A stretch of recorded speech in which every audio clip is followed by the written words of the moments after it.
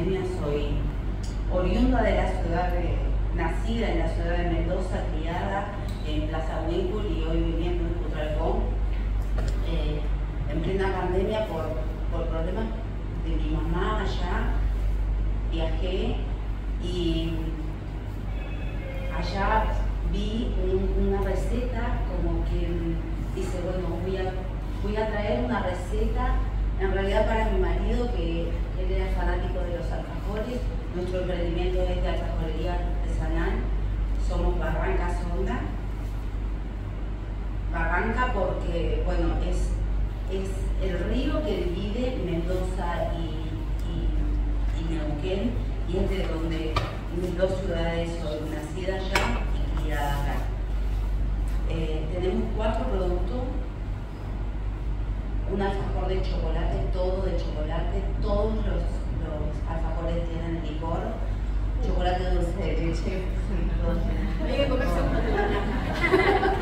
Detrás de, él, no sé, una siesta o algo. todos los alfajores tienen licor, tienen un baño de almíbar de licor.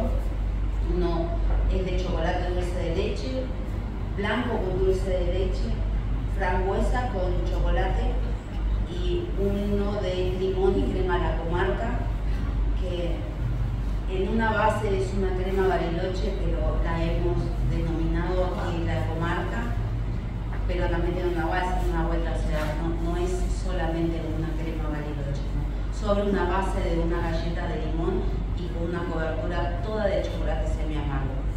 Eh, ese es nuestro emprendimiento, llevamos dos años, es poquita la trayectoria que tenemos, hemos participado en ferias, eh, en la fiesta de, San Sebastián, en la fiesta de Pehuen el año pasado, eh, y bueno, tratando de, hacerlo crecer aquí en la localidad. No hemos salido más allá de, estos lugares y de aquí de la zona petrolera, pero sí el alfajor ha viajado solo a otros lugares.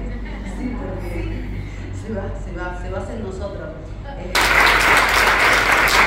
Invitamos a Lorena, la presidenta de la Cámara de Rentón, a entregar el certificado Natalia de reconocimiento. Gabriela Ochoa, emprendedora de la ciudad de Cutrancó.